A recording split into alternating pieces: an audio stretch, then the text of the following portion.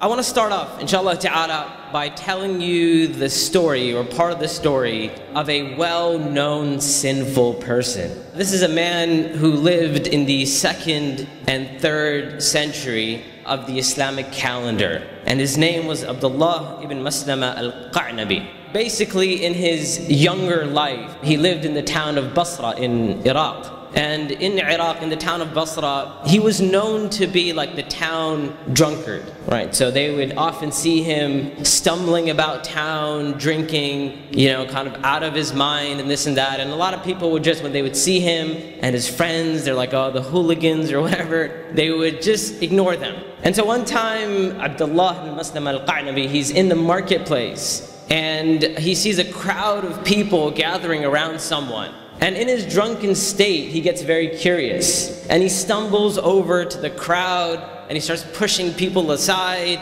And he's like, Who are you talking to? Who is this? Why is everybody so concerned with this individual? Who is this? And they say, This is Shu'bah ibn al-Hajjaj. And he says, And who is Shu'bah ibn al-Hajjaj? Who is that? And they say to him, This is the famous scholar of hadith, Shu'bah. Like people are like, How do you not know who this is? And he goes, okay. He goes, anta muhaddith. He says, you're a muhaddith. And now, you know, he's stumbling and, you know, he's kind of slurring his words. And then he turns to him like he's now, this is basically, this is Abdullah ibn Maslama and Shu'bah talking to one another in a crowd of people. And he goes, فَحَدِّثْنِي He goes, if you're a muhaddith, give me a hadith. Tell me a hadith.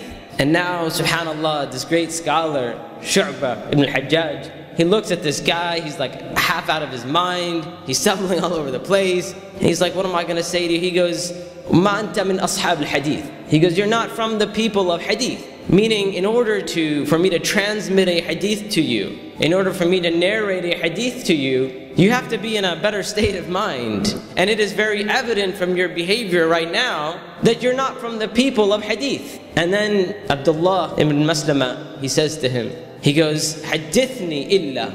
He goes, give me a hadith or. And he says, or I will strike you. I mean, I'm going to beat you up. And so finally, Shu'bah ibn al-Hajjaj, he gets quiet for a while. And then he begins to say to him, he said, it has come to us from Mansur, who narrated upon Rib'i, who narrated upon Ibn Mas'ud. قال رسول الله صلى الله عليه وسلم he said that the Prophet ﷺ said, إِذَا لَمْ تَسْتَحِي فَاصْنَعْ مَا شِئْتِ He says to him that the Prophet ﷺ said, If you have no shame, then do as you like, or do as you wish. And Abdullah says that when I heard these words, it struck me like an arrow in my chest. He said I was left speechless. He says as it felt like I was knocked to the ground. And so when hearing these words, the words of the Prophet ﷺ being told to him that if you have no shame, if you don't feel shyness, if you feel no shame, then do whatever you like. You're going to make a scene in the marketplace, you're going to walk around drunk, you're going to abuse people, cuss people out, whatever. You have no respect for a scholar of hadith or whatever. You lack shame, then do as you like. And so he says, this really got to me. He says, I ran home, I took all my bottles of wine and I poured them out. I locked the doors. I told my mother, if anyone comes to see me, any of my friends come to see me, tell them that I don't want to see them. And he sat in that state for a while. And then he pondered and thought about his situation. And he said, what am I doing with my life? I want to be like Shu'bah. I want to be like him. I want to be a carrier and a narrator of hadith. And so he asked the people of his town, he said, who is the most knowledgeable person in the world today? And they, they say to him, today the most knowledgeable person is probably Imam Malik. Where is Imam Malik? He's in Medina. So now Abdullah, he travels all the way to Medina and he studies with Imam Malik. And he becomes one of the students of Imam Malik. And he studies and he studies and he studies until he feels like he's gotten everything he needs to from Imam Malik. And then he asks the people of Medina, who is the second most knowledgeable person on the face of this earth? And they say to him, Shu'bah. He says, Shu'bah? From Basra? From Iraq? They say yes. So he rushes back. You know, it, it, wasn't a short flight back then. It took a long time. But he rushed back. He came all the way back to Iraq, to Basra, to study with Shu'bah ibn, ibn al-Hajjaj. And as he arrives in Basra, he starts looking for Shu'bah and he finds out that Shu'bah has passed away. However, we find that Abdullah ibn Maslama al-Qa'nabi continued on to study. And today he's considered one of the great scholars of Islam. And he narrated from many different scholars. Obviously, he narrated hadith from Imam Malik. I believe he has a, uh, about 100, 130 or so narrations mentioned in Sahih al-Bukhari. But when it comes to his teachers, amongst them they have listed Imam Malik and others, but also amongst his teachers they have listed Shu'bah. Did he study with Shu'bah? No, he didn't sit with Shu'bah. He didn't study with him. But he did learn one hadith from Shu'bah. And so under his teachers it says Shu'bah. And the hadith that he narrated, it's been mentioned, إِذَا لَمْ تَسْتَحِي فَاصْنَعْ مَعْ شِئْتِ If you have no shame, if you don't feel shy, then do as you like. Now my brothers and sisters, I share this story with you because a lot of times one of the ways that we are tricked by the shaitan is that we feel that if we're going to sin, we don't want to be hypocrites. Right? And I know a lot of times, you know, we're told that the dangers of living a hypocritical life and having a double life, and indeed that is something which is extremely dangerous. And indeed that is another spiritual problem, and I believe a lot of it was talked about. But there's another side to the story as well, or the other side of the coin. And that is living a life where a person says, look, I don't care. If I'm going to sin, I'm going to sin. I'm not going to hide my sins. I ain't no hypocrite. And similarly, sometimes, subhanAllah, you, you see someone who's backbiting someone, someone else, and they use the same argument. They're like, you know, why are you backbiting this person? They're like, I don't care. I'll say to their face. And you're like, that doesn't make a difference. That doesn't change the sin from being backbiting to not being backbiting, right? Now, actually, if you see it say to their face, it might be considered abuse. So now you have a sin upon another sin, right? May Allah protect us. Backbiting is simply to say, as Prophet told us, to say about someone something that they wouldn't like, right? Whether you say it to their face or behind their back, or you say it, you know, you mention it on Facebook or Twitter or whatever it may be, doesn't make a difference. If you say something about them that they don't like, that becomes backbiting.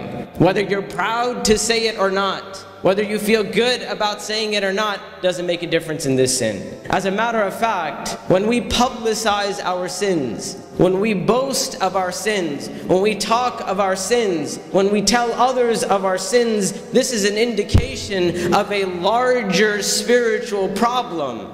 And that is a lack of haya. That is a lack of shame and modesty with Allah subhanahu wa ta'ala first and foremost. The Prophet ﷺ said, Kullu ummati mu'afa. He said, all of my ummah can be forgiven, or all of the sins of my ummah can be forgiven, illa al-mujahirun, except those who publicize their sins. And the Prophet ﷺ said the example of that person who publicizes their sin is the person who goes in the night and they commit a sin and Allah covers them. Meaning Allah doesn't expose their sin. Their sin was done privately. Then in the morning time, this person wakes up and he begins to tell the people, last night I committed such and such sin. Last night I did this and I did that when it is Allah subhanahu wa ta'ala who had covered up the sin. And in the morning this person exposes their own sin. Hiding our sins can be a good thing. It's a good thing if we hide our sins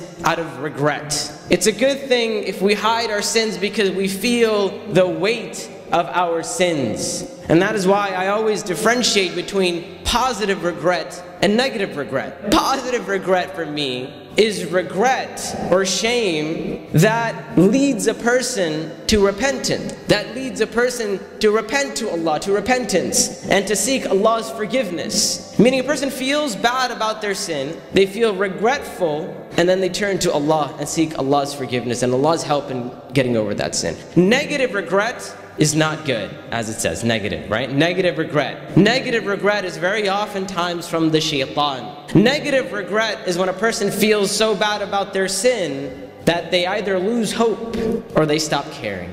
Right? A person feels so bad and then the shaitan comes to them and says, You're just a bad person. You're just a bad Muslim. Why do you even bother? Allah is never going to forgive you. You're never going to get past this sin. You're never going to be able to get rid of this bad habit or this bad behavior or whatever it is you do. And a person feels so bad that they give up. They lose hope in their own ability and, and even more severe than that or more dangerous than that is losing hope in the ability of Allah subhanahu wa ta'ala to help them. That's why I often tell people that if you have lost hope in yourself, then at least have hope in Allah. If you don't believe in yourself, if you don't believe in your own abilities, if you don't believe in your own capabilities, then have belief and believe in Allah's ability to help you. Have firm faith that Allah has the capability to help you because Allah is capable of anything. And that is what we're talking about when we talk about positive regret. That a person feels bad, a person feels some type of shame. And you know, subhanAllah, this is a problem that our scholars have talked about for a very, very long time. But in this day and age, this problem is almost compounded because of our friendly internet, right? Because we have so many avenues and so many ways of publicizing our sins, publicizing our faults.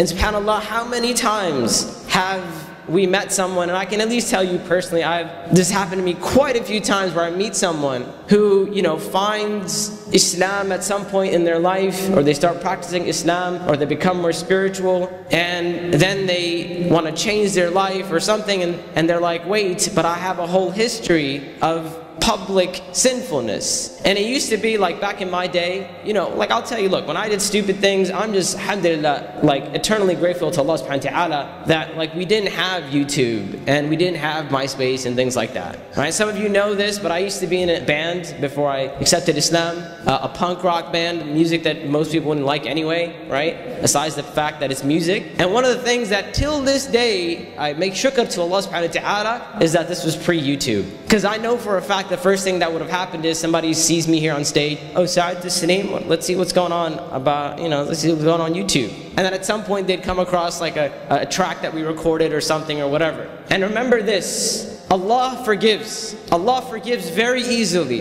It means nothing to Allah subhanahu wa ta'ala to forgive. But people are not the same. It is very difficult for people to forgive. People may even forgive you, but things will remain in their hearts. And that is why sometimes a person may commit a sin and they hide their sin and they feel bad about it and they make tawbah and no one finds out about that sin. And this sin is between them and Allah subhanahu wa ta'ala and Allah forgives them and they're done. But on the other hand, a person commits a sin publicly and they publicize that sin and they repent to Allah. And Allah subhanahu wa ta'ala forgives them, but the people don't forgive them. And that is why this ruling that I found in some of our uh, books of, of qada, in some of our older books of qada, which I found to be very strange because you know in this modern time it seems very strange when someone would commit a sin that would become widespread and wide known. Let's say, you know, in like a Muslim society or whatever, someone commits zina, right? And their zina is publicized and everyone finds out that they commit zina or whatever, and then they make tawbah, or they've done a sin that people have been affected by. Sometimes the qadi would say part of your tawbah is to move somewhere else.